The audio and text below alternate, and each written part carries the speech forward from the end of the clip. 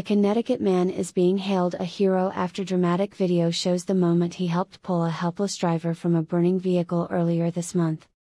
The Stafford Fire Department, a small town on the northern border of Connecticut and Massachusetts, posted a video to Facebook showing the dramatic moment that Edward Cyr pulled over to help save a man from a burning car on November 1st.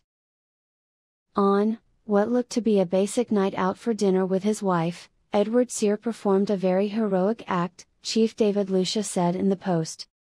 Cyr was going southbound on River Road at around 6:50 p.m. when he drove over the train tracks near the Stafford Town Hall and witnessed a car burst into flames.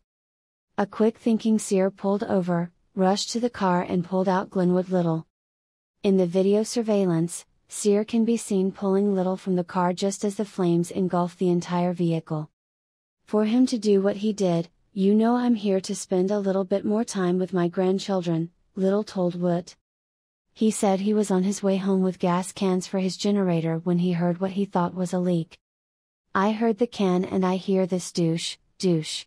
Like the gas is leaking out and like I said I had a cigarette going, next thing I know, boom. He told the local station. All of a sudden the door opens up, I didn't even see the guy come to the door, he opens it up and he reaches in and he gets my seatbelt off, he continued. My coat and my hat was in flames and he ripped the hat off and my coat and as he took me out I went right into the back of the ambulance. Lil was taken to a hospital where he was treated for his injuries. You saved Mr. Glennwood Little from burning inside his vehicle. Words can't describe this act, Lucia said. Mr. Cyr, you are a hero.